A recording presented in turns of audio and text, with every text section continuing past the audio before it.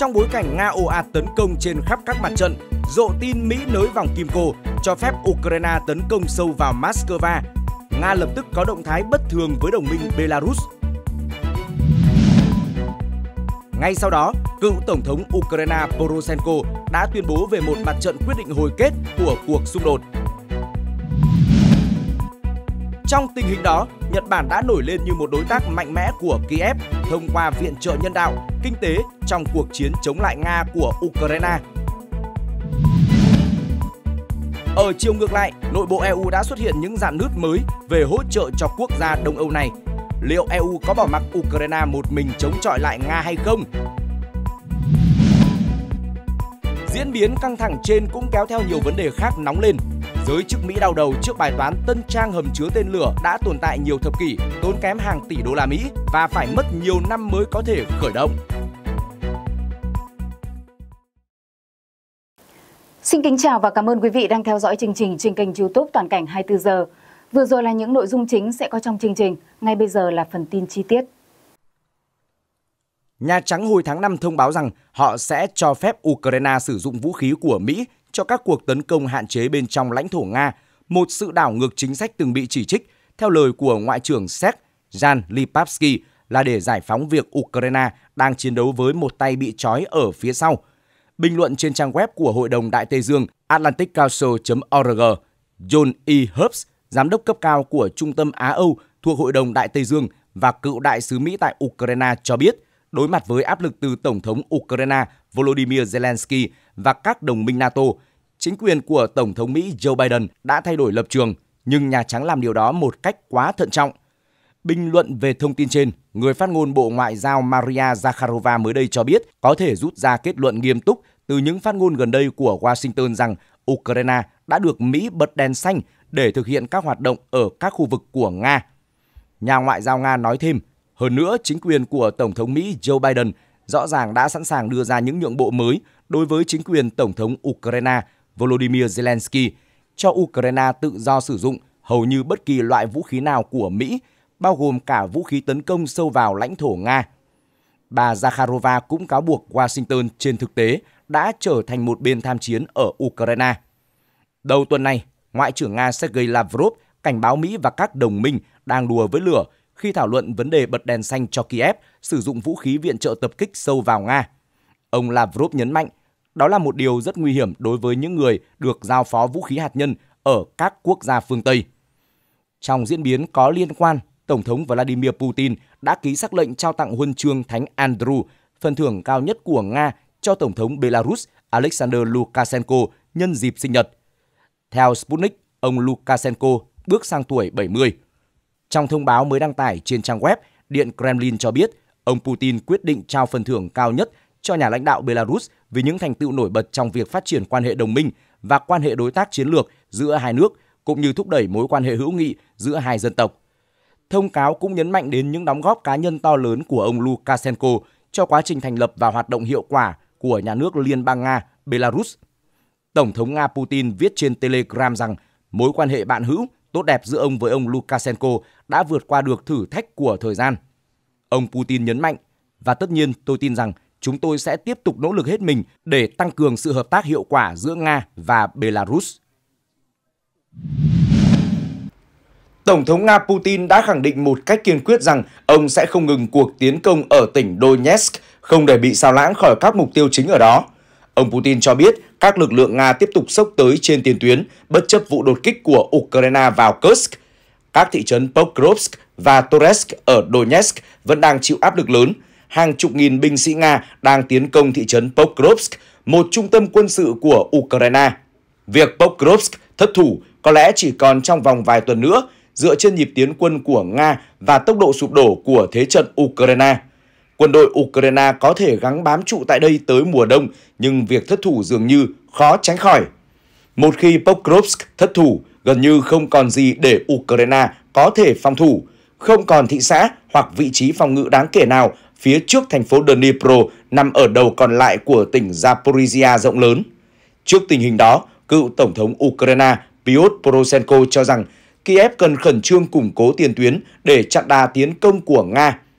Ông Pyotr Poroshenko cho rằng Kursk rất quan trọng, Các hướng khác cũng rất quan trọng, nhưng tôi có thể nói rằng số phận của những tháng này đang được quyết định tại Pokrovsk và mọi thứ phụ thuộc vào việc quân đội của chúng ta có được tiếp tế hay không. Bên cạnh đó, ông Poroshenko chỉ trích cả chính quyền Ukraine và chính quyền địa phương vì không xây dựng chiến hào và chướng ngại vật. Cựu Tổng thống Ukraine nhấn mạnh Nga phải bị chặn lại cách Pokrovsk hàng chục km với sự trợ giúp của các công sự chưa được xây dựng. Trong khi đó, kể từ khi Ukraine tấn công tỉnh Kursk của Nga vào đầu tháng 8, nhiều câu hỏi đã được đặt ra về chiến dịch táo bạo này của Kiev. Liệu đây có phải là bước ngoặt quan trọng trong cuộc xung đột hay là một nước cờ sai lầm về mặt chiến lược của Kiev? Liệu chiến dịch có tác động lớn đến chính sách phương Tây đối với Nga nói chung và cuộc xung đột ở Ukraine nói riêng hay không? Theo chuyên san Foreign Policy, về cơ bản, cuộc tấn công của Ukraine được coi là thành công trong ngắn hạn, nhưng tình hình trung hạn, dài hạn mới là điều quan trọng hơn.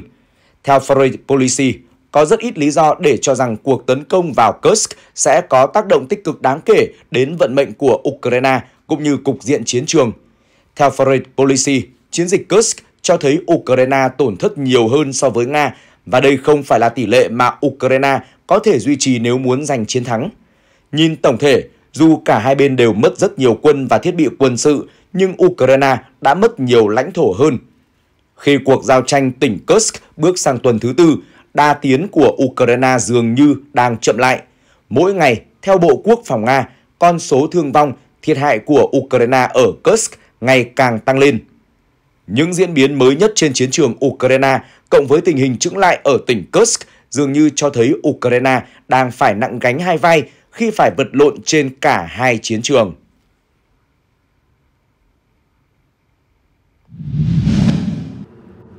Kênh Telegram Kremlin đưa tin, do lo ngại các cuộc tấn công có thể xảy ra ở cầu Crimea, quân đội Nga đã triển khai hệ thống tên lửa phòng không Panzer S-1 tại địa điểm này. Các bức ảnh ghi nhận thực tế cho thấy hệ thống Panzer S-1 đã được triển khai trong khoảng một tháng trở lại đây.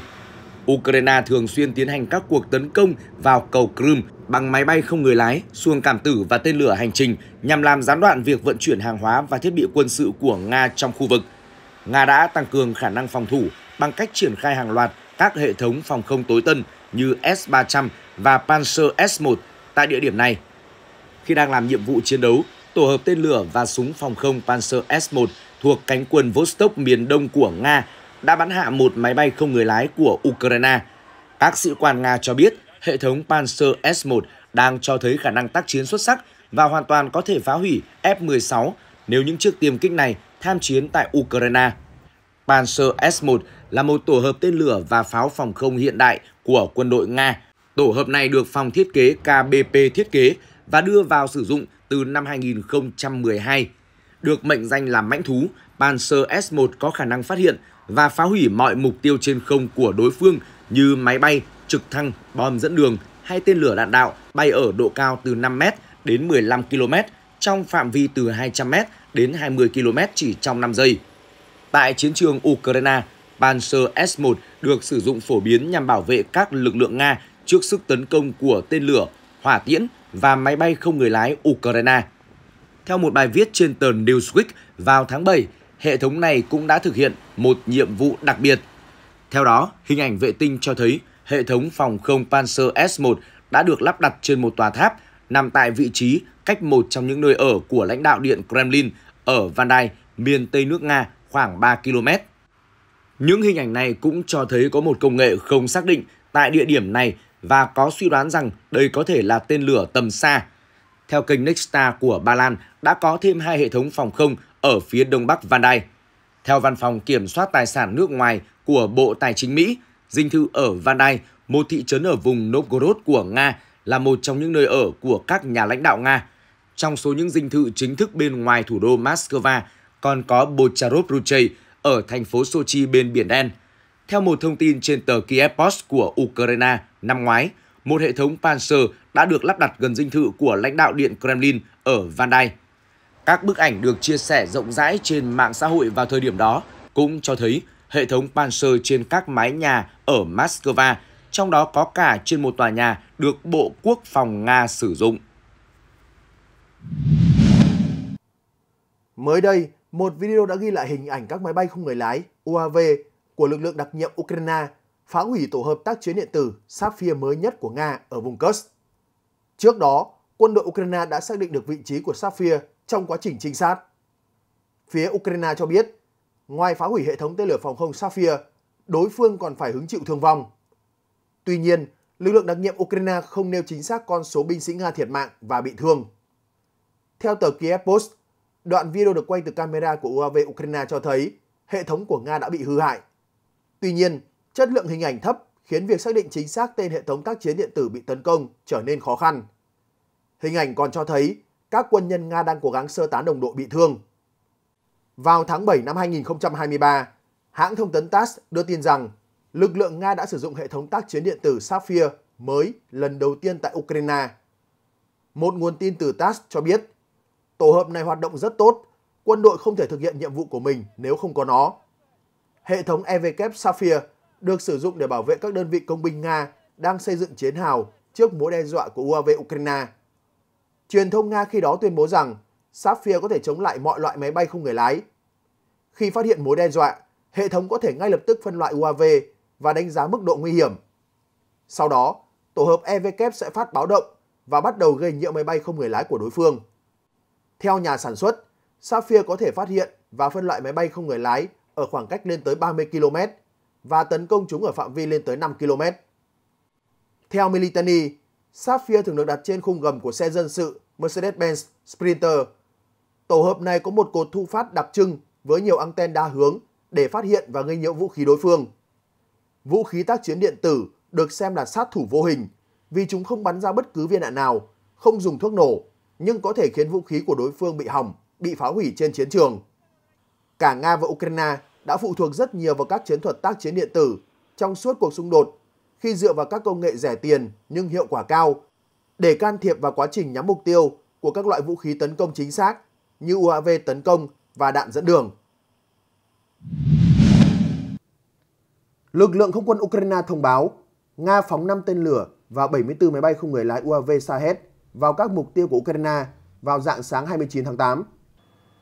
Hệ thống phòng không Ukraine chặn được 2 tên lửa và 60 UAV, trong khi 14 UAV khác có lẽ đã rơi trước khi tiếp cận mục tiêu. Chính quyền thủ đô Kiev cho biết các mảnh vỡ của UAV bị phá hủy rơi xuống ba quận của thành phố, gây thiệt hại nhỏ cho cơ sở hạ tầng dân sự nhưng không có thương vong. Các mảnh vỡ rơi xuống cũng gây ra đám cháy trong khuôn viên của một doanh nghiệp tư nhân ở khu vực miền trung Cherkasky. Khoảng 75 nhân viên cứu hộ đã dập tắt đám cháy lan rộng trên 2.700 m2. Cơ quan khẩn cấp nhà nước Ukraine cho biết. Đây là cuộc không kích quy mô lớn của Nga và Ukraine lần thứ ba trong vòng 4 ngày qua. Vừa qua, Moscow phóng hơn 100 tên lửa và 100 UAV Shahed nhằm vào các cơ sở năng lượng trên đất Ukraine. Sau đó, Nga tiếp tục phóng 10 tên lửa và 81 UAV Shahed vào lãnh thổ Ukraine. Cuộc tấn công mới nhằm vào hệ thống lưới điện buộc Kiev phải đưa ra lệnh cắt điện khẩn cấp hoặc luân phiên trong tuần này để cố gắng giữ lưới điện ổn định. Các quan chức Ukraine gần đây đã lên tiếng nhiều hơn trong việc yêu cầu các nước phương Tây gỡ bỏ hạn chế đối với mục tiêu mà Ukraine được phép nhắm tới bên trong nước Nga bằng vũ khí tầm xa mà họ cung cấp. Tổng thống Ukraine Volodymyr Zelensky một lần nữa kêu gọi các đồng minh phương Tây cởi chó cho ông trong việc quyết định tấn công vào lãnh thổ Nga. Ông Zelensky nói, không nên có bất kỳ hạn chế nào về phạm vi vũ khí đối với Ukraine. Chúng tôi tiếp tục nhấn mạnh rằng việc dỡ bỏ các hạn chế mục tiêu tấn công tầm xa đối với Ukraine sẽ giúp chúng ta sớm chấm dứt chiến tranh theo cách công bằng cho Ukraine và toàn thế giới. Tuy nhiên, Mỹ vẫn giữ nguyên lập trường của mình. Chính sách của chúng tôi không thay đổi. Người phát ngôn Lầu Năm Góc, Thiếu tướng Patrick Ryder tuyên bố ngày 27 tháng 8. Các hạn chế này như một lời tuyên bố rằng Mỹ và các đồng minh không trực tiếp tham gia vào cuộc xung đột, dù đã gửi cho Kiev hàng tỷ đô la Mỹ tiền vũ khí, đạn dược, thiết bị và tiền mặt. Ở diễn biến ngược lại, quân đội Nga thông báo đã ngăn chặn một cuộc tấn công của Ukraine vào Crimea. Bộ Quốc phòng Nga cho biết lực lượng của họ đã phá hủy ba thiết bị không người lái trên biển của Ukraine nhằm vào Crimea. Ông Mikhail Ravojayev, thống đốc thành phố Sevastopol ở phía tây nam bán đảo Crimea cho biết thêm rằng 4 UAV và ba thiết bị không người lái trên biển của Ukraine đã bị phá hủy ở khoảng cách đáng kể so với bờ biển của bán đảo. Bộ Tổng tham mưu quân đội Ukraine cũng xác nhận những cuộc tấn công của Ukraine nhằm vào các kho dầu sâu bên trong nước Nga trong tuần này. Bộ Quốc phòng Ukraine cho biết trong một tuyên bố đăng tải trên mạng xã hội Telegram, Lữ đoàn cơ giới số 28 của Ukraine đã bắn hạ một máy bay Su-25 của Nga trên hướng Kramatorsk. Trước đó, nhóm tác chiến Khotitsia của Ukraine hoạt động tại Donetsk cho biết các đơn vị phòng không của Lữ đoàn cơ giới độc lập số 28 đã bắn hạ chiếc cường kích của không quân Nga bằng hệ thống phòng không di động Manpass Nhóm Khotitsia cho biết trong một tuyên bố trên Telegram, chiếc máy bay Nga đã tìm cách bắn vào các vị trí của các đơn vị thuộc lực lượng phòng vệ. Nhóm này thông báo một chiếc Su-25 của Nga nữa đã cháy trên thảo nguyên Donbass của Ukraine. Không quân của Nga đã mất đi thêm một máy bay và đề cập đến một khu vực bao gồm các vùng Donetsk và Lugansk do Ukraine kiểm soát. Nhóm tác chiến Khotitsia cho biết số phận của phi hành đoàn vẫn chưa được biết. Trong khi đó, tờ Daily Mail của Anh cũng đưa tin về vụ việc, dẫn các nguồn tin Ukraine nói rằng một cường kích Sukhoi Su-25 được nhìn thấy phát nổ thành quả cầu lửa khi bay qua các vị trí của Ukraine xung quanh Kramatorsk. Chiếc máy bay buộc phải thả bẫy nhiệt để đánh lạc hướng tên lửa tầm nhiệt khi bay thấp cùng một máy bay khác, nhưng được cho là đã bị tên lửa phòng không bắn trúng trước khi lao xuống đất. Moscow hiện chưa chính thức xác nhận về tuyên bố bắn hạ Su-25 của Kiev. Theo tờ Newsweek, không quân Nga đã phải chịu tổn thất lớn kể từ khi xung đột bắt đầu vào tháng 2 năm 2022. Trang web phân tích tình báo quốc phòng nguồn mở Oris của Hà Lan đã xác nhận trực quan rằng 112 máy bay của Nga đã bị phá hủy và 15 máy bay bị hư hại kể từ khi bắt đầu cuộc xung đột ở Ukraine.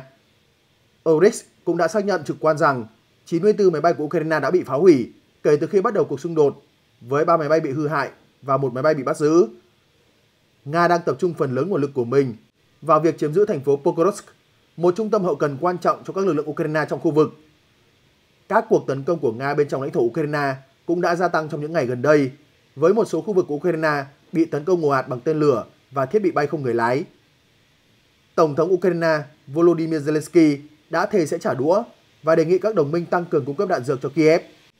Trong một cuộc họp báo, ông Zelensky kêu gọi các đồng minh cung cấp thêm máy bay phản lực F-16 và tiết lộ một số máy bay đã được sử dụng để bắn hạ tên lửa của Nga trong các cuộc tấn công bên trong lãnh thổ Ukraine.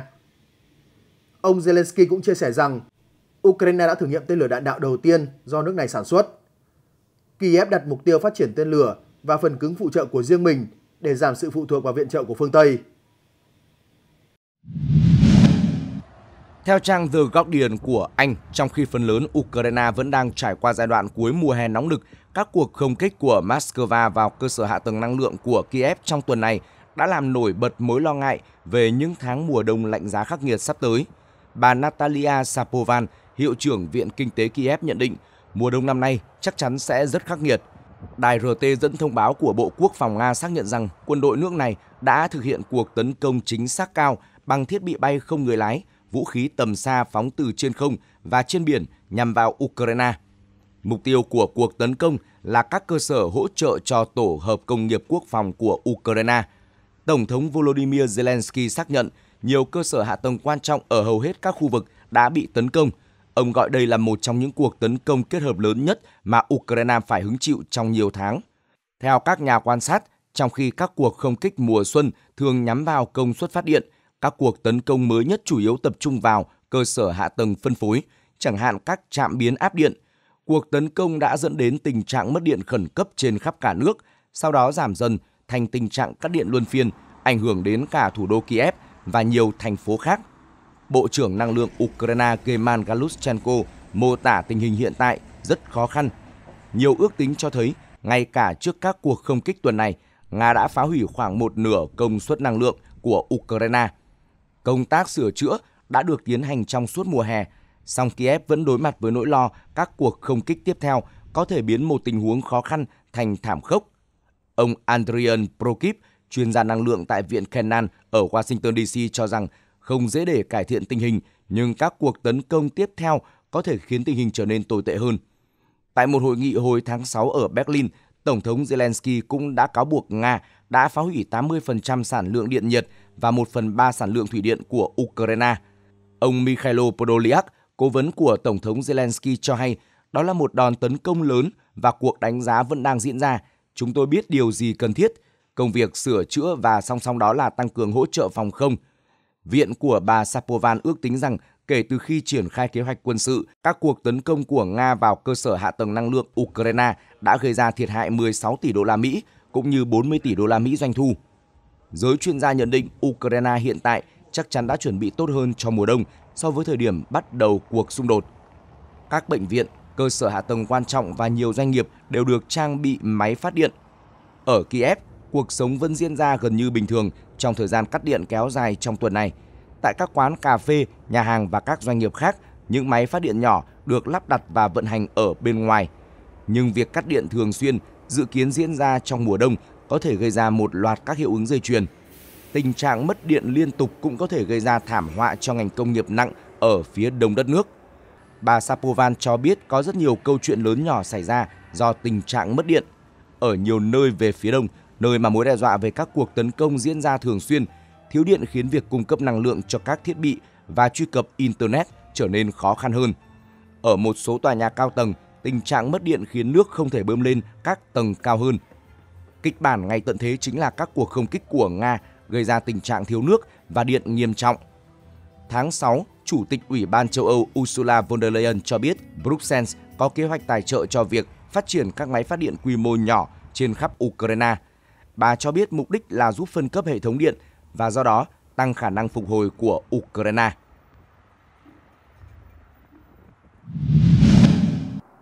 Theo tờ Kiev Post của Ukraine, trong bối cảnh xung đột Nga-Ukraine và dù không thể cung cấp vũ khí sát thương cho Ukraine do các hạn chế pháp lý cũng như lý do lịch sử, Tokyo đã nổi lên như một đối tác mạnh mẽ của Kiev thông qua viện trợ nhân đạo, kinh tế cho quốc gia Đông Âu này. Nhật Bản đã cung cấp nhiều nguồn lực thiết yếu cho Ukraine, bao gồm thực phẩm, hỗ trợ y tế và các nhu yếu phẩm cần thiết khác nhằm giảm bớt tổn thất cho dân thường và hỗ trợ chính phủ Ukraine giải quyết cuộc khủng hoảng nhân đạo. Ngoài việc hỗ trợ nhân đạo, Tokyo cũng đã mở rộng viện trợ kinh tế đáng kể cho Ukraine nhằm ổn định nền kinh tế bị xung đột tàn phá.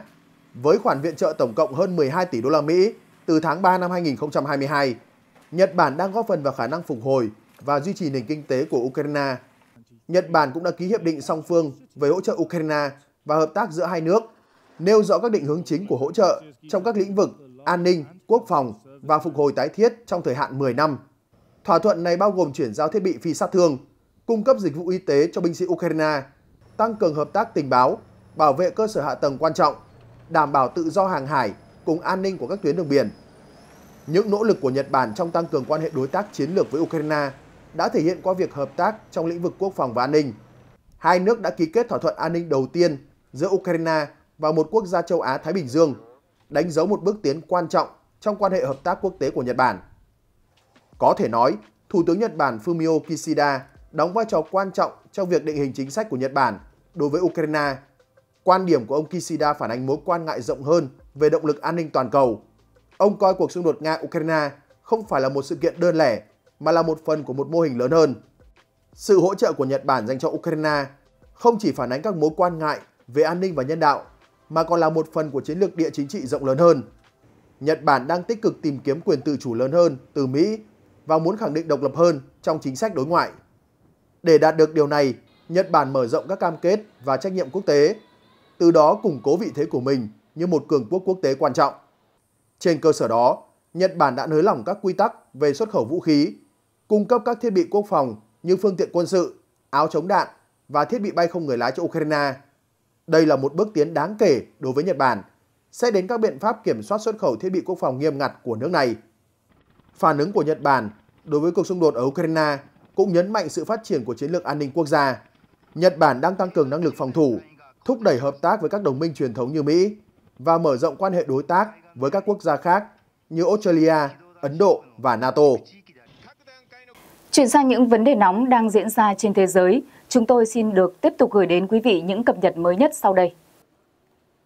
Cuộc họp không chính thức của Ngoại trưởng các nước Liên minh châu Âu đã diễn ra tại Bruxelles của Bỉ, thay vì thủ đô Budapest của Hungary để tập trung bàn về cuộc xung đột Ukraine, tình hình giải Gaza và cuộc bầu cử ở Venezuela.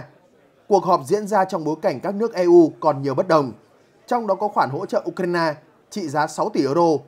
Cuộc họp Ngoại trưởng EU được mở rộng, trong đó có sự tham dự của ba nhân vật đáng chú ý. Đó là Ngoại trưởng Ukraine Dmytro Kuleba và Ngoại trưởng Thổ Nhĩ Kỳ Hakan Fidan và đại diện phe đối lập Venezuela Edmundo González. Đến với cuộc họp, Ngoại trưởng Ukraine tiếp tục đưa ra lời kêu gọi các nước EU tăng cường viện trợ vũ khí trong bối cảnh nước này đang tấn công sang bên phần lãnh thổ Nga và muốn duy trì động lực tấn công. Ngoài ra, Ngoại trưởng Kuleba đã nhắc lại lời kêu gọi của Tổng thống Ukraine Volodymyr Zelensky rằng Ukraine cần sự cho phép nhiều hơn của phương Tây về quyền được sử dụng vũ khí để tấn công các mục tiêu ở sâu bên trong lãnh thổ Nga. Điều này cũng đã được đại diện cấp cao phụ trách chính sách an ninh và đối ngoại của EU, ông Joseph Borrell ủng hộ. Tuy nhiên, ông Borrell thừa nhận các nước thành viên EU có quan điểm bất đồng về vấn đề này, cũng như việc phân bổ 6 tỷ euro từ Quỹ Hòa bình châu Âu để chi trả cho các nguồn cung cấp vũ khí cho Ukraine. Và Hungary, quốc gia chủ tịch luân phiên EU, đã phản đối cả hai đề xuất này. Ngoại trưởng Hungary Peter Szijjarto cho biết, phần lớn các quốc gia Liên minh châu Âu và các quan chức ở đây đều có lập trường ủng hộ chiến tranh tuyệt đối. Trên thực tế, tâm lý chiến tranh này làm nhiều người mù quáng. Ở thời điểm này, việc mở rộng lãnh thổ của cuộc chiến hay việc gia tăng số lượng vũ khí hay việc sử dụng vũ khí phương Tây trên lãnh thổ Nga mà không cấu thành mối đe dọa gia tăng căng thẳng trong cuộc xung đột. Đó là suy nghĩ đi ngược lại thực tế. Ngoài vấn đề Ukraine, vấn đề ngừng bắn cho Gaza cũng là một trọng tâm của cuộc họp. Trong bối cảnh tiến trình đàm phán mà Mỹ, Ai Cập và Qatar làm trung gian vẫn đang gặp bế tắc. Hầu hết các ngoại trưởng EU đều bày tỏ quan ngại về tình hình nhân đạo hiện nay ở Gaza, kêu gọi một lệnh ngừng bắn ngay lập tức để hỗ trợ nhân đạo cho người dân ở Gaza. Kết quả bầu cử tổng thống tại Venezuela cũng là vấn đề được nhiều ngoại trưởng EU quan tâm. Do đó, ứng cử viên tổng thống của phe đối lập nước này, ông Edmundo González đã được EU mời phát biểu trực tuyến tại cuộc họp ngoại trưởng lần này. Đại diện cấp cao phụ trách chính sách an ninh và đối ngoại của EU, ông Joseph Borrell cho biết, phát biểu của ông Edmundo sẽ rất quan trọng đối với ngoại trưởng các nước EU để đánh giá về tình hình ở Venezuela. Tôi hy vọng rằng sau cuộc họp này, Ngoại trưởng EU sẽ quyết định sẽ nói gì về kết quả của cuộc bầu cử tổng thống Venezuela. Được biết, ứng cử viên tổng thống của phe đối lập Venezuela, ông Edmundo González đã được cơ quan công tố nước này ra lệnh triệu tập lần 3 hôm 29 tháng 8 để làm rõ vụ phe đối lập, đăng tải các kết quả bầu cử khác với Ủy ban bầu cử quốc gia công bố. Ông này đã không có mặt theo lệnh triệu tập hai lần trước đó và có nguy cơ bị bắt, nếu không trình diện sau lệnh triệu tập lần 3. Cuộc họp của Ngoại trưởng EU cũng thu hút sự quan tâm quốc tế với sự tham gia của Ngoại trưởng Thổ Nhĩ Kỳ Hakan Fidan sau 5 năm vắng bóng trong bối cảnh mối quan hệ giữa Thổ Nhĩ Kỳ và EU phủ bóng nhiều bất đồng và nỗ lực gia nhập EU kéo dài hai thập kỷ của Thổ Nhĩ Kỳ đang bị đóng băng.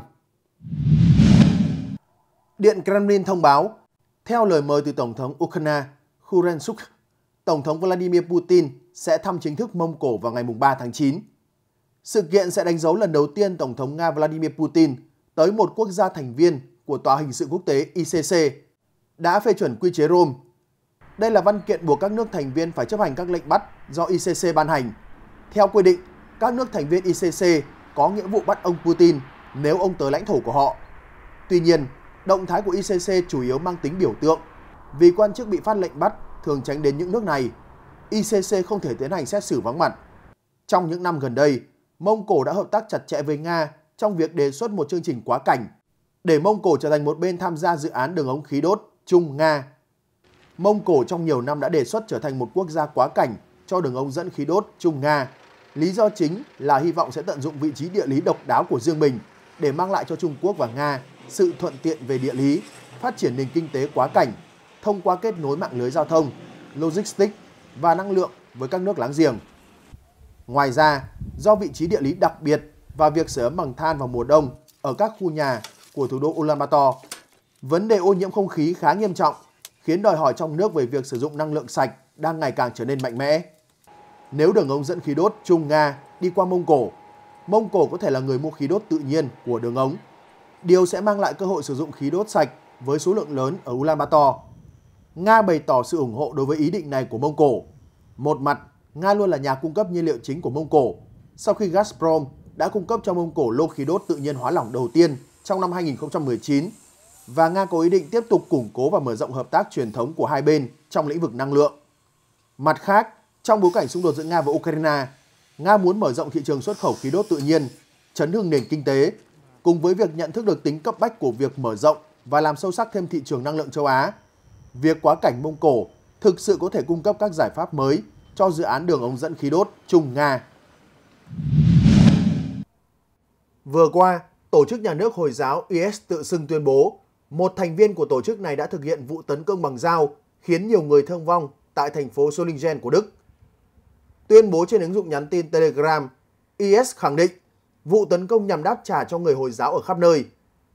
Đối tượng được mô tả là một chiến binh IS đã nhắm vào một cuộc tụ tập của những người theo đạo Thiên Chúa.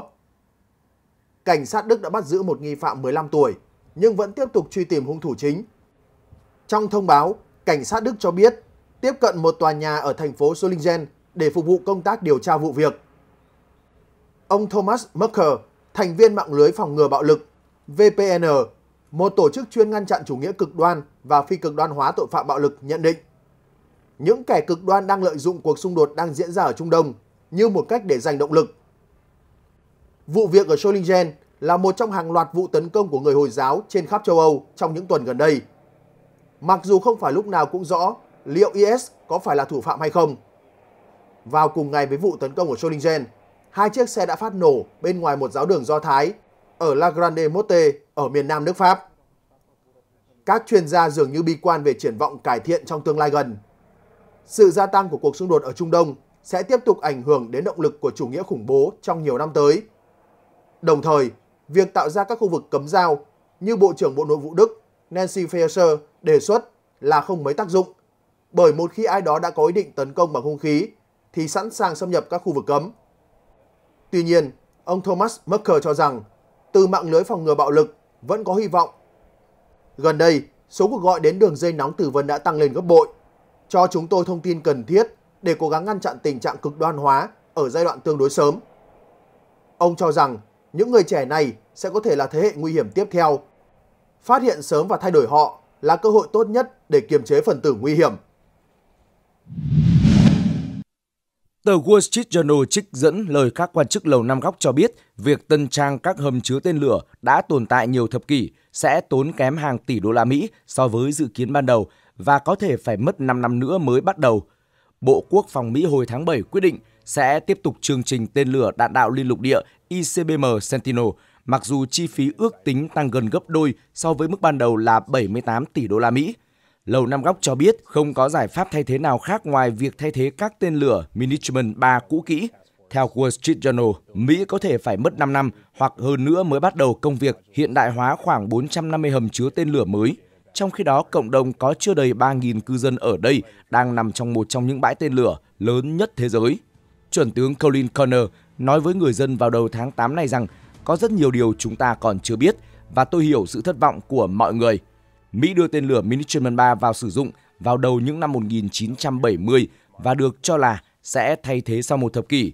Cuối cùng, Washington bật đèn xanh cho chương trình Sentinel vào năm 2020, trao hợp đồng ban đầu trị giá 13,3 tỷ đô la Mỹ cho Northrop Grumman sau khi Boeing rút lui. Tuy nhiên, người quản lý dự án Sentinel, đại tá Charles Clegg bị sa thải vào tháng 6 không rõ lý do. Cùng với các tên lửa mới, hiện vẫn đang trong giai đoạn thiết kế. Dự án này còn bao gồm việc hiện đại hóa các hầm chứa và trung tâm chỉ huy đã 50 năm tuổi. Tuy nhiên, họ không thể tạm đóng cửa các silo hoặc các cơ sở chỉ huy vì học thuyết hạt nhân nước này yêu cầu các cơ sở phải sẵn sàng bất cứ lúc nào. Một số silo cũng có thể cần phải được xây dựng lại từ đầu. Thứ trưởng Bộ Quốc phòng phụ trách mua sắm và duy trì Bill LaPlante nói, quy mô, phạm vi và tính phức tạp của dự án Sentinel là điều mà chúng ta chưa từng thử trong hơn 60 năm qua. Dù vậy, ông nhấn mạnh đây là chương trình dù sao vẫn phải thực hiện. Không quân Mỹ trong khi đó đang tìm cách làm dự án bớt phức tạp, nhưng họ có thể mất tới 18 tháng để quyết định về những thay đổi. Theo WSG, sự chậm trễ như thế này có thể gây ra những vấn đề khác cho Lầu Năm Góc. Chính phủ Mỹ đã đàm phán khoảng 1 phần 3 các thỏa thuận bất động sản cần thiết để lắp đặt hàng nghìn km cáp quang trong một phần của dự án. Trong khi đó, các quan chức Lầu Năm Góc cho biết chi phí xây dựng và nguyên liệu thô tăng cao đã khiến cho ước tính chi phí ban đầu không đáng tin cậy và không thực tế. Trong một tuyên bố vào tuần trước, Lầu Năm Góc cho biết Bộ Ngoại giao Mỹ đã phê duyệt thương vụ tiềm năng bán tên lửa không đối không tầm trung tiên tiến và các thiết bị liên quan cho một số đối tác châu Âu. Cụ thể, Bộ Ngoại giao Mỹ đã phê duyệt bán tên lửa và thiết bị cho Rumani và Na Uy với trị giá mỗi thương vụ ước tính lần lượt là 592 triệu đô la Mỹ và 405 triệu đô la Mỹ. Nhà thầu chính của thương vụ này là RTX Corp có trụ sở tại Tucson, Arizona.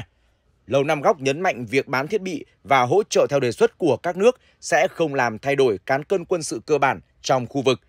Tuy nhiên vừa qua, Mỹ đã từ chối cấp giấy phép xuất khẩu tên lửa tiên tiến GMLRS-R cho Na Uy.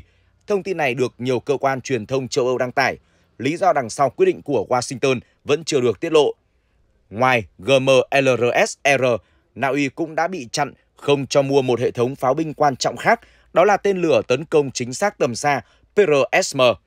Quyết định của Mỹ hoãn bán GM, LRS, ER và PRSM cho Na Uy, bất chấp việc hai quốc gia là đồng minh thân thiết, có thể xuất phát từ nhiều lý do chiến lược khác nhau. Tuy nhiên, không chính phủ nào đưa ra lời giải thích công khai cho động thái này. Xét đến địa chính trị phức tạp, Mỹ có thể lo ngại về việc Oslo sở hữu các hệ thống tên lửa tiên tiến như vậy có thể làm gia tăng căng thẳng với Moscow do Na Uy gần Nga. Vị trí chiến lược của Na Uy và tư cách thành viên NATO nếu triển khai các vũ khí này có thể làm leo thang căng thẳng trong khu vực, gây ra phản ứng mạnh mẽ từ Nga. Mỹ lo ngại điều này cũng là điều dễ hiểu, bởi lẽ việc thay đổi sự cân bằng quân sự trong khu vực là nhạy cảm trong bối cảnh xung đột Đông Âu vẫn phức tạp và bất đồng giữa NATO và Moscow ngày càng sâu sắc. Được biết, hệ thống tên lửa GMLRS-R và PRSM là một trong những dòng vũ khí uy lực khi có tầm bắn xa và độ chính xác tốt nhất thế giới hiện nay. Chính điều này buộc Mỹ phải quản lý chặt chẽ việc phân phối các hệ thống vũ khí này để ngăn chặn việc sử dụng sai mục đích trong các cuộc xung đột không phù hợp với lợi ích của Washington. Ngoài ra, các hệ thống vũ khí này đóng vai trò quan trọng trong các chiến lược quân sự của Mỹ. Mối lo ngại về an ninh vũ khí, lo ngại công nghệ bị do dỉ cũng khiến Mỹ thận trọng hơn khi chuyển các loại vũ khí công nghệ cao này ra bên ngoài. Hơn nữa, Mỹ cũng đã đang tập trung vào việc mở rộng nhanh chóng kho vũ khí của mình, trong bối cảnh nước này cũng đã viện trợ rất nhiều đạn tên lửa cho hệ thống HIMARS của Ukraine. Trước khi kho tên lửa dự trữ chiến lược của Mỹ được lấp đầy, Washington sẽ không vội xuất khẩu chúng cho đồng minh. Bộ Ngoại giao Nga cho biết đã cấm nhập cảnh vĩnh viễn đối với 92 công dân Mỹ để đáp trả chính sách của chính quyền Tổng thống Joe Biden. Bộ này cho biết để phản ứng lại chính sách bài Nga do chính quyền Joe Biden theo đuổi, với mục tiêu được nêu là gây ra thất bại chiến lược cho Moscow. Một phần không thể thiếu trong số đó là các lệnh trừng phạt toàn diện đối với các chính trị gia Nga, thành viên của cộng đồng doanh nghiệp, nhà khoa học và nhân vật văn hóa, nhà báo và tổ chức truyền thông, lệnh cấm nhập cảnh vào Liên bang Nga đối với 92 công dân Mỹ sẽ được áp dụng vĩnh viễn. Bộ Ngoại giao Nga cho biết, ngoài các quan chức cấp cao và các cấp khác trong các cơ quan an ninh và dịch vụ đặc biệt, người đứng đầu các doanh nghiệp quốc phòng quan trọng và các tổ chức tài chính cung cấp vũ khí cho lực lượng vũ trang Ukraine và tài trợ cho chế độ ở Kiev. Danh sách này bao gồm đội ngũ biên tập và phóng viên của các ấn phẩm tham gia vào việc sản xuất và phát tán những câu chuyện sai sự thật về Nga và lực lượng vũ trang Nga cũng như tuyên truyền che đậy cuộc chiến hỗn hợp do Washington phát động. Cũng theo Bộ Ngoại giao Nga, họ sẽ tiếp tục mở rộng danh sách những người bị cấm nhập cảnh. Chúng tôi nhắc nhở các nhà chức trách Mỹ hiện tại rằng hình phạt là điều không thể tránh khỏi đối với các hành vi thù địch. Đại diện Bộ Ngoại giao Nga cho biết như vậy.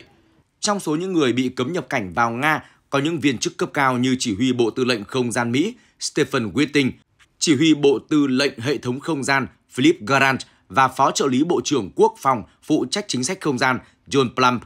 Các phóng viên trong danh sách cấm bao gồm David Stern, Adam Taylor và Shane Harris của tờ Washington Post, Lara Jakes và Andrew Kramer của tờ New York Times, tổng biên tập tờ Wall Street Journal Emma Tucker và cựu trưởng văn phòng tại Moscow Nathan Hodge.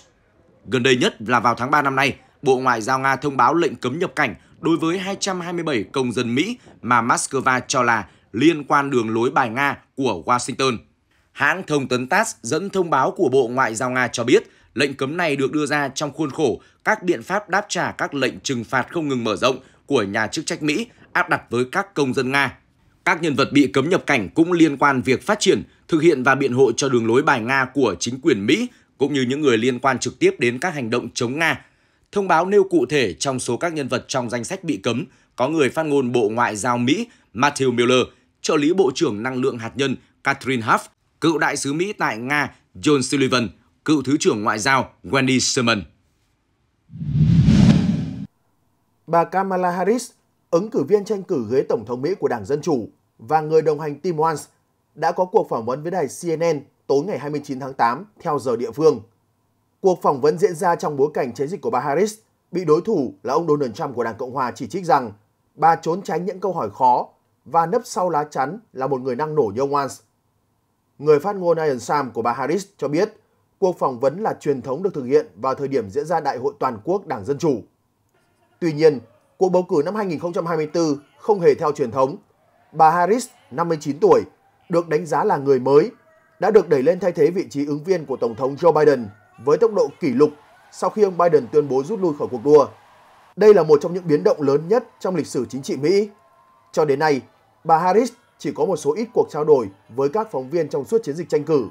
Đây cũng là cuộc phỏng vấn đầu tiên của bà Harris kể từ Đại hội toàn quốc của Đảng Dân Chủ tại Chicago, nơi chứng kiến làn sóng ủng hộ mạnh mẽ dành cho bà. Bà Harris cho biết bà sẽ bắt đầu thực hiện một số đề xuất chính sách nhằm hỗ trợ và củng cố tầng lớp trung lưu ngay trong ngày đầu nhậm chức nếu chiến thắng cuộc bầu cử tháng 11.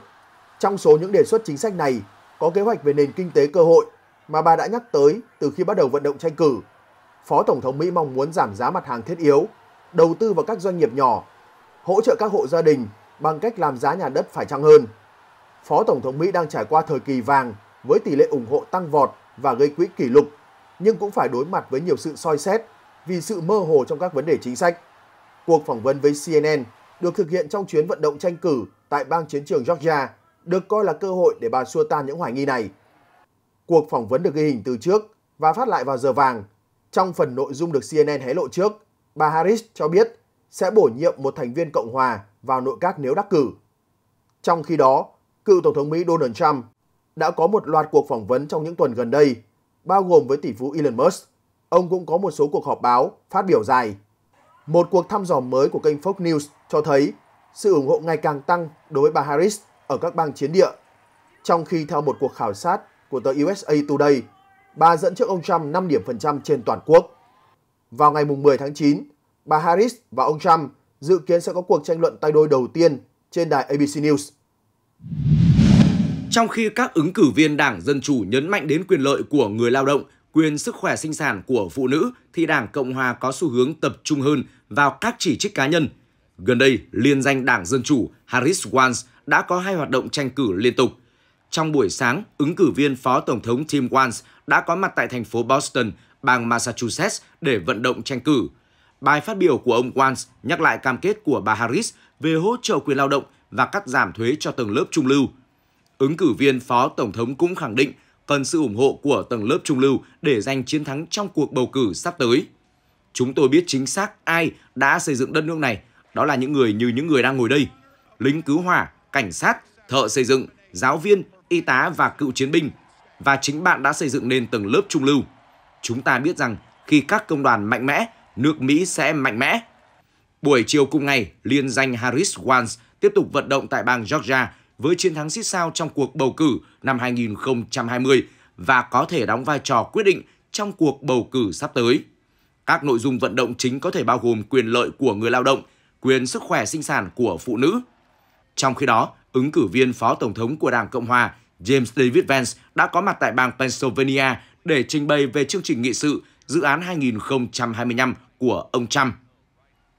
Khi được hỏi về sự cố va chạm xảy ra khi cựu Tổng thống Trump đến tưởng niệm cùng gia đình các binh sĩ Mỹ thiệt mạng năm 2021, ông Vance đã đưa ra chỉ trích gay gắt nhất từ trước đến nay rằng bà Harris không thực hiện trách nhiệm của mình, thậm chí còn không thèm điều tra xem chuyện gì đã xảy ra. Bà ấy muốn hét vào mặt ông Trump vì ông ấy đã xuất hiện, bà ấy có thể xuống địa ngục. Hiện phía Dân Chủ chưa có bình luận gì về chỉ trích của ông Vance. Tuy nhiên, giới quan sát cho rằng trong thời gian tới, hai bên sẽ tiếp tục đưa ra các bình luận chỉ trích cá nhân, đặc biệt là phía Đảng Cộng Hòa. Dự kiến trong những ngày tới, cả hai liên danh tranh cử sẽ tiếp tục đẩy mạnh chiến dịch vận động tại các bang chiến trường, có thể quyết định kết quả cuộc đua vào Nhà Trắng vào tháng 11 tới. Tiếp theo đó, bà Harris có thể đến bang Michigan, còn ông Vance sẽ tới Wisconsin, một bang chiến trường khác. Đầu tuần tới, bà Harris và Tổng thống Biden có thể xuất hiện trong chiến dịch tranh cử chung lần đầu tiên kể từ sau khi Đảng Dân Chủ thay đổi ứng cử viên Tổng thống. Ở phía bên kia, cũng trong tuần này, ông Trump dự kiến cũng sẽ đến Michigan và cùng với liên danh Phó Tổng thống Vance xuất hiện tại Wisconsin. Quay trở lại với tình hình căng thẳng ở Trung Đông và những diễn biến nóng liên quan đến các cuộc xung đột trong khu vực. Chúng tôi xin gửi đến quý vị những cập nhật mới nhất tiếp theo ngay sau đây. Theo kênh số 12 của Israel, phái đoàn đàm phán nước này tại Doha đang tạo được tiến triển trên một loạt vấn đề liên quan đến thỏa thuận ngừng bắn kỳ vọng do Mỹ, Ai Cập và Qatar làm trung gian. Tuy nhiên, các cuộc thảo luận ở Doha không tập trung vào các yêu cầu của Thủ tướng Israel Benjamin Netanyahu vốn bị Hamas từ chối. Đó là điều khoản về sự hiện diện của quân đội Israel tại hành lang Philadelphia dọc biên giới Gaza và Ai Cập, cũng như cơ chế kiểm soát các tay súng Hamas trở lại khu vực Bắc Gaza thông qua hành lang Netzarim. Đáng chú ý, nguồn tin cho biết giới chức Mỹ đang hối thúc các bên thu hẹp bất đồng và tiến tới đồng thuận vào tuần tới về mọi vấn đề, trừ hai yêu cầu kể trên của Thủ tướng Israel. Sau đó, Washington sẽ tiếp tục làm việc và gây sức ép với cả Israel và Hamas về hai nội dung còn bất đồng. Trong trường hợp hai bên vẫn không thể tiến tới thỏa hiệp, Mỹ sẽ đưa ra quan điểm riêng của mình về hai nội dung này và yêu cầu các bên chấp nhận. Cũng về thỏa thuận ngừng bắn mới, truyền thông Israel cho biết tại cuộc họp nội các an ninh tối qua, Bộ trưởng Quốc phòng Joab Galan đã kêu gọi Thủ tướng Netanyahu và các thành viên chính phủ Israel chấp nhận tiến tới thỏa thuận với Hamas. Trong tài liệu đưa ra tại cuộc họp, ông Galan nhấn mạnh rằng Israel đang đứng trước những ngã rẽ chiến lược. Theo đó, nếu Israel chấp nhận và tiến tới được thỏa thuận ngừng bắn, nước này không chỉ giải cứu được các con tin mà còn có thể đạt được một thỏa hiệp ngoại giao về hạ nhiệt căng thẳng với lực lượng Hezbollah ở mặt trận phía Bắc, đồng thời ngăn chặn một cuộc chiến quy mô khu vực. Bước đi này cũng có thể tác động đến dự định báo thù của Iran với vụ thủ lĩnh chính trị Hamas Ismail Haniyeh bị ám sát tại Tehran hồi cuối tháng 7. Trường hợp ngược lại là không thể tiến tới thỏa thuận. Bộ trưởng Quốc phòng Israel cảnh báo rằng nước này vừa không thể giải cứu được con tin, vừa có thể đối mặt với nguy cơ bị cuốn vào một cuộc xung đột đa mặt trận. Cuộc xung đột kéo dài gần 11 tháng qua tại Gaza đã khiến gần 41.000 người Palestine thiệt mạng, khoảng 100.000 người bị thương, đồng thời tàn phá nặng nề cơ sở hạ tầng, đồng thời đẩy cuộc sống của khoảng 2,3 triệu cư dân Gaza vào cảnh khốn khó. Xung đột Gaza còn lôi kéo nhiều nhóm vũ trang trong trục kháng chiến tại khu vực tham gia, đốt nóng hàng loạt mặt trận từ khu bờ Tây, biên giới Israel-Liban cho tới Biển Đỏ. Đặc biệt, cuộc xung đột ở Gaza đã đẩy Israel và Iran vào thế đối đầu quân sự trực diện nguy hiểm chưa từng có. Đỉnh điểm là vụ Iran phóng hàng trăm tên lửa và máy bay không người lái tấn công trực tiếp vào lãnh thổ Israel đêm 13 tháng 4 vừa qua.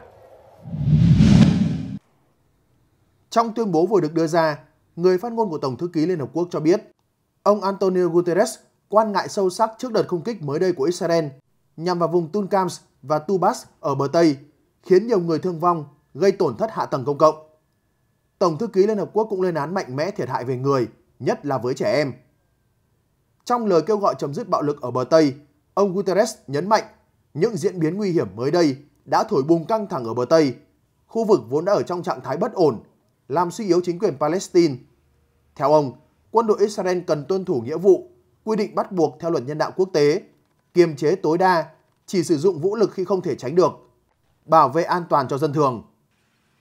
Tổng thư ký Liên Hợp Quốc cũng kêu gọi giữ nguyên hiện trạng tại khu đền thiêng Al-Aqsa ở Jerusalem, bày tỏ quan ngại sâu sắc trước tuyên bố và hành vi nguy hiểm mang tính kích động của Bộ trưởng Bộ An ninh Israel sau khi ông này đến thăm địa điểm trên.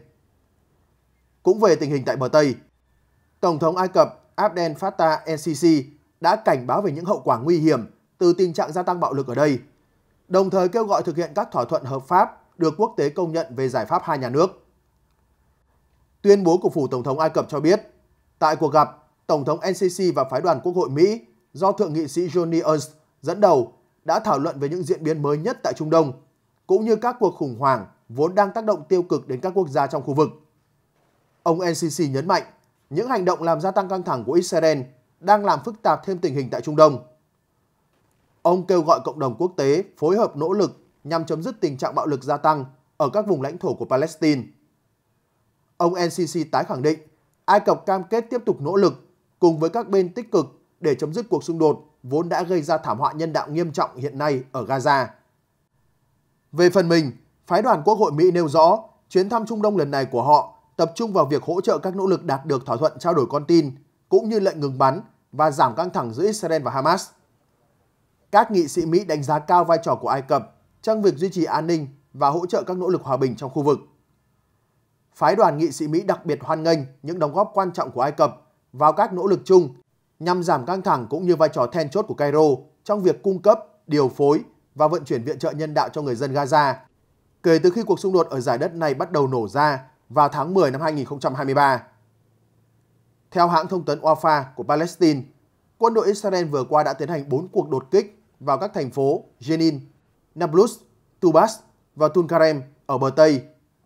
Các nguồn tin y tế của Palestine cho biết, số người Palestine thiệt mạng ở bờ Tây đang tiếp tục tăng kể từ khi cuộc xung đột ở giải Gaza bắt đầu nổ ra vào tháng 10 năm ngoái. Ai Cập cùng với Qatar và Mỹ đã thực hiện vai trò trung gian hòa giải trong nhiều tháng nhằm đạt được thỏa thuận chấm dứt cuộc xung đột kéo dài hơn 10 tháng tại Gaza. Cairo và Doha đã tổ chức các vòng đàm phán gián tiếp gần đây giữa Hamas và Israel. Tuy nhiên, vòng đàm phán mới nhất tại Cairo đã kết thúc mà không đạt được thỏa thuận cuối cùng do các bên vẫn còn bất đồng về các điều kiện thỏa hiệp.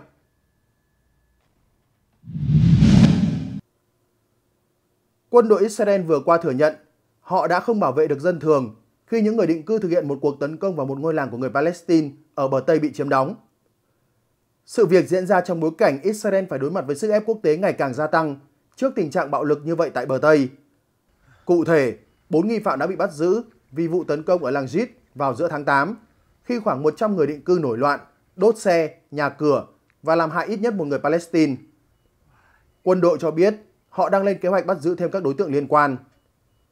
Trong một báo cáo về cuộc điều tra vụ việc, quân đội Israel cho biết, ban đầu, quân đội và cảnh sát đã không kiểm soát được tình hình và đáng lẽ ra phải hành động quyết đoán hơn. Ông Avi Blut, người đứng đầu Bộ Tư lệnh Trung ương của quân đội cho biết, đây là một vụ tấn công cực đoan rất nghiêm trọng mà người Israel cố tình gây hại cho cư dân thị trấn Zit. Chúng tôi đã không đến sớm hơn để bảo vệ họ.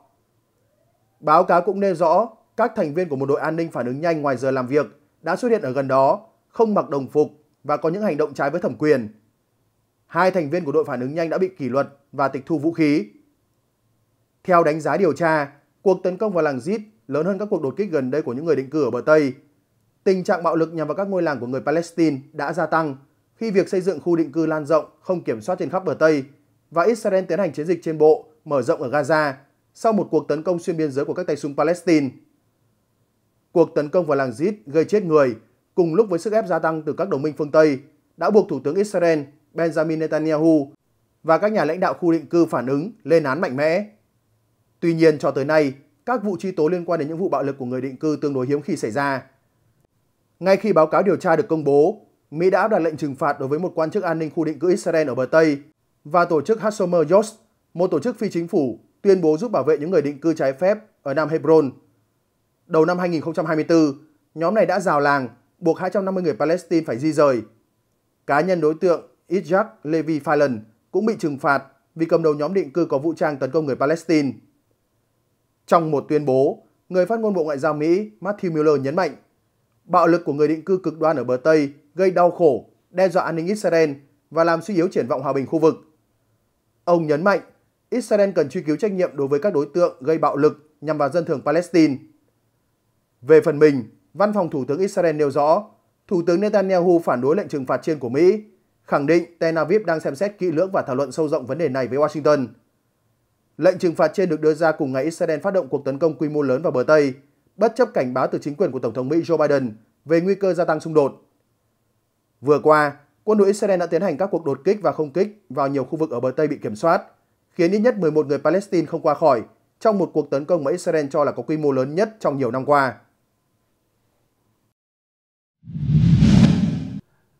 Quân đội Israel thừa nhận đã thực hiện vụ không kích gần biên giới Syria, Liban, khiến một nhân vật cấp cao của phong trào thánh chiến Palestine PIG thiệt mạng. Cụ thể, theo thông cáo được lực lượng phòng vệ Israel IDF đăng trên mạng xã hội X, mục tiêu của cuộc không kích từ máy bay không người lái UAV lần này là ông Faris Qasim, một thành viên nổi bật của PIG, chịu trách nhiệm cho việc phát triển phong trào này tại Syria và Liban. Thông cáo của IDF viết, ông Faris Qasim cũng nắm vai trò trung tâm trong việc chiêu bộ công dân Palestine, gia nhập tổ chức Hezbollah, nhóm vũ trang chịu trách nhiệm thực hiện nhiều cuộc tấn công từ Liban nhằm vào Israel. Đồng thời, một số thành viên PIG cũng thiệt mạng trong vụ không kích trên. Trong khi đó, hãng thông tấn Palestine Coast News đưa tin, nhiều người đã thiệt mạng trong cuộc không kích nhằm vào một chiếc xe trên đường cao tốc Beirut-Damas gần thị trấn Zabadani thuộc tỉnh Rib Dimash của Syria. Các nguồn tin an ninh cho biết chiếc xe không chở vũ khí.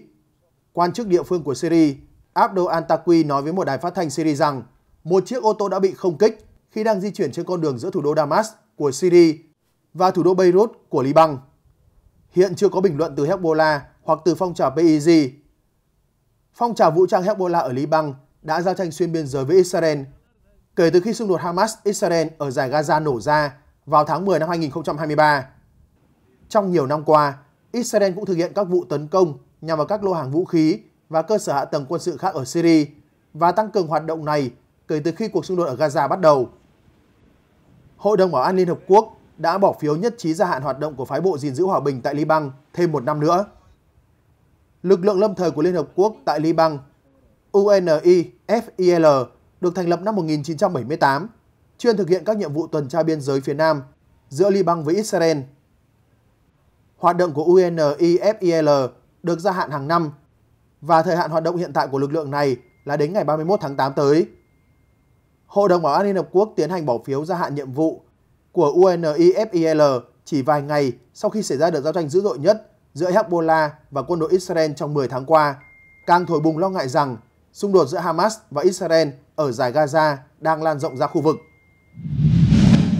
Phái bộ của Iran tại Liên Hợp Quốc mới đây cho biết lực lượng Houthi ở Yemen đã đồng ý với yêu cầu tạm ngừng tấn công trên Biển Đỏ để tàu kéo, tàu cứu hộ các nước tiếp cận nơi tàu dầu Sonian đang trôi giạt. Tàu dầu Sonian tuần trước bị Houthi, lực lượng được Iran hậu thuẫn, tập kích ở ngoài khơi thành phố cảng Hodeida của Yemen, làm bùng phát các đám cháy, khiến thủy thủ đoàn phải sơ tán. Còn tàu mất điều khiển, trôi giạt và đối mặt với nguy cơ tràn dầu. Phái bộ Iran cho biết một số quốc gia đã liên hệ đề nghị Houthi tạm ngừng bắn để tàu kéo và tàu cứu hộ có thể vào khu vực xảy ra sự cố và có thể gây mối nguy hiểm về môi trường sau đó. Phái bộ nói thêm rằng bất kỳ thất bại nào trong việc hỗ trợ và ngăn chặn sự cố tràn dầu ở Biển Đỏ đều bắt nguồn từ sự tắc trách của một số quốc gia, chứ không phải do nguy cơ bị Houthi nhắm tới. Ông Mohammed Abdul Salam, phát ngôn viên Houthi khẳng định sau khi hoạt động cứu hộ kết thúc, lực lượng Houthi sẽ nối lại các đòn tấn công nhằm gây sức ép khiến Israel phải kết thúc xung đột tại giải Gaza. Houthi phát động chiến dịch nhằm vào tuyến hàng hải quốc tế ở Biển Đỏ và Vịnh Aden sau khi xung đột tại giải Gaza bùng phát cuối năm ngoái, tuyên bố đây là động thái nhằm thể hiện đoàn kết với người dân Palestine ở vùng lãnh thổ. Hamas, lực lượng kiểm soát giải Gaza, là đồng minh của Houthi trong trục kháng chiến do Iran hậu thuẫn tại khu vực. Lực lượng Houthi trước đó tuyên bố tàu Sonian thuộc về một công ty có liên hệ với Israel, nói thêm rằng con tàu đã bị tập kích chính xác trực tiếp bằng tên lửa và máy bay không người lái UAV cảm tử. Theo phái bộ Aspis gồm các lực lượng hải quân tại Biển Đỏ của Liên minh châu Âu EU, con tàu đã khởi hành từ Iraq và đang trên đường đến một cảng gần Athens, Hy Lạp, chở 150.000 tấn dầu thô. Lực lượng hải quân EU được thành lập vào tháng 2 để bảo vệ các tàu hàng khỏi các cuộc tấn công của Houthi đã cảnh báo vào tuần trước rằng con tàu hiện đang gây ra mối nguy hiểm về hàng hải và môi trường. Song song với những biến động trên chính trường thế giới, quay trở lại với những diễn biến liên quan đến cuộc xung đột Nga-Ukraine. Thưa quý vị, trên các mặt trận giao tranh giữa hai bên vẫn đang diễn ra rất khốc liệt. Cả Nga và Ukraine đều cố gắng vận dụng những điểm mạnh của mình để công phá vào yếu điểm của đối phương. Bên cạnh đó, viện trợ và những vấn đề liên quan đến xung đột giữa hai nước cũng đang nóng dần lên với những chuyển biến mới. Xin mời quý vị tiếp tục theo dõi ngay sau đây. Theo ông Mark Cancian, đại tá thủy quân lục chiến Mỹ đã nghỉ hưu và đang là cố vấn cấp cao tại Trung tâm Nghiên cứu Chiến lược và Quốc tế, Nga chưa sử dụng nhiều sức mạnh không quân hay bom lượn để chống lại các lực lượng Ukraine xâm nhập vùng Kursk. Business Insider dẫn lời ông Cancian nói, tôi nghĩ lý do là hệ thống kiểm soát không lưu kém.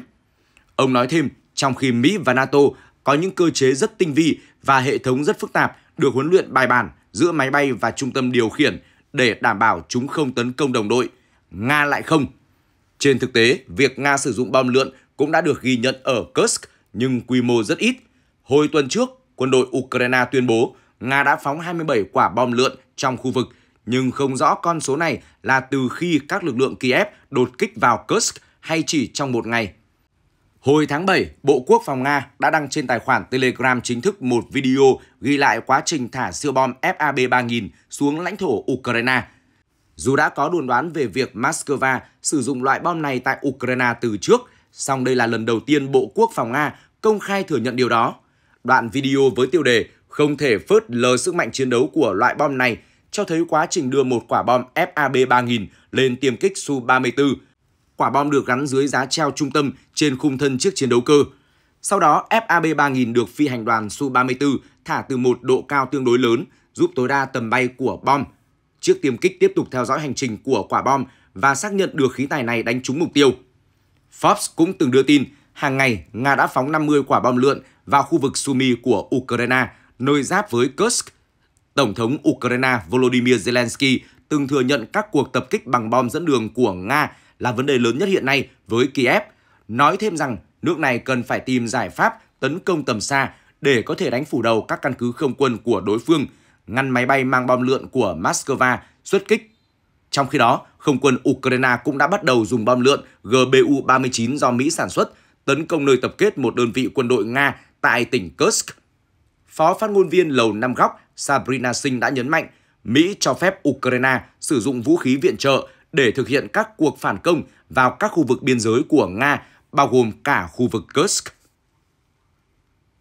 Thưa quý vị, nội dung vừa rồi đã khép lại chương trình trên kênh Toàn cảnh 24 giờ ngày hôm nay. Cảm ơn quý vị đã quan tâm theo dõi. Xin kính chào và hẹn gặp lại.